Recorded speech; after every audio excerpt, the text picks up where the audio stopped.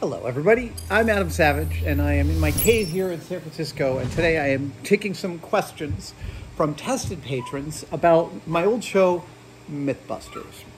And today's uh, story comes from uh, Morgan Crisp, wants to know um, Are there any myths that countered the laws of physics that were dismissed for being too simple, or other myths too simple for testing? Um, for example, ones that were safe for home testing. Not really. Uh, uh, so I want to state right up front, I'm really sorry we ever tested pyramid power. The idea that keeping your razor under some pyramid shape would make them sharper and let the blades stay sharp. Total hogwash. I'm really sorry we did that. Um, there is a myth that we never did, um, but not because it broke the laws of physics uh, and that's dowsing, which does break the laws of physics. And to be clear, dowsing is the practice of holding on to two ends of a forked stick and using the single piece out there to find water. This is a long and storied tradition, and people have been using this method to find water for hundreds, if not thousands of years. I don't know exactly how long. However, dowsing has never survived empirical testing. Never. It's never it's never survived. And there's been some pretty clever methodologies. Like putting someone in an empty building where every floor is completely empty and putting a giant volume of water on one floor and taking a dowser and putting them on the floor above that and they couldn't figure out where the water was. And they knew there was like 100,000 gallons of water somewhere on this floor. Like, that's a great methodological test. So, why didn't we do it? It's because of the nature of our show. Um, the nature of our show is that we would have a question to answer and we would find experts to help us answer it and we would conduct our own tests to figure out the the the answer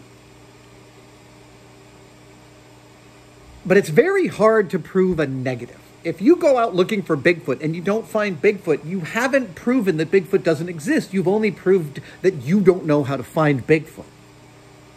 So proving a negative was something we actively avoided. But if you're going to try and prove a negative, you really want a control.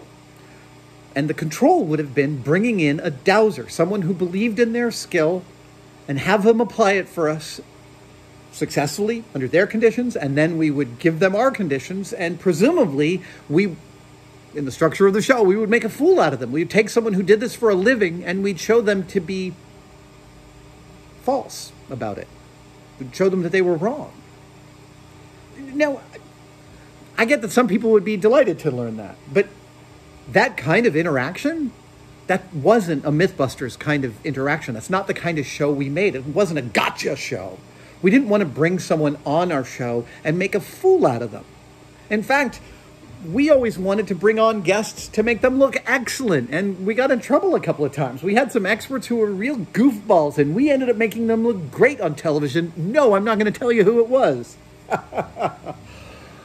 but my sympathy is such that it would have been I would have had a moral problem with bringing someone onto the show to make a fool out of them.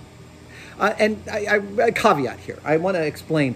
I mean someone who believes in what they're doing, because a lot of people believe that they can dowse. Now, when they take a stick out into a landscape, I have no doubt that there are physical clues within that landscape that they understand at the most deep and intuitive level, and that perhaps that's being externalized by the physicality with the stick. That's completely feasible, and that would be lovely to tease out. But that's a bigger, longer set of experiments than we could do within a single hour show or single A story for 35, 40 minutes of television. So we never did. But I'm specifically meaning like a person who believes in what they do. Somebody who uh, claims to dowse but is lying, they're just a charlatan, like psychics or spoonbenders or whatever. Those those people they deserve your enmity and your ire, and they deserve to be exposed. Again, not the kind of show MythBusters did. But do you want to know how screwed up dowsing gets? Yeah. Okay. Check this out. Ah. I'm going to name names here. Um, there was a company called ATSC, uh, Advanced Tactical Security Communications Limited, and they sold a bomb detecting dowsing device. This device was an antenna on a stick, and it claimed they claimed that this could detect bombs from long range. Well, detecting bombs at long range is something the American military, uh, freaking every military, is very interested in doing. And ATSC sold sold these devices to 20 countries in the Middle East and Asia, including Iraq and Afghanistan, for as much as $60,000 apiece. The Iraqi government is said to have spent $52 million on the advice, on the device, excuse me, $52 million on the device. Okay. I'd like to air this grievance of mine after all these years. Those people that invented that invented that machine, they were totally clear that they were making a piece of garbage and not only charging tons of money for it, which is bad enough. That's bad enough. For that, you should all go to jail. But you sold a device that gave people a false sense of security in forward operating bases in war zones across the world how do you go to sleep and kiss your children having done that?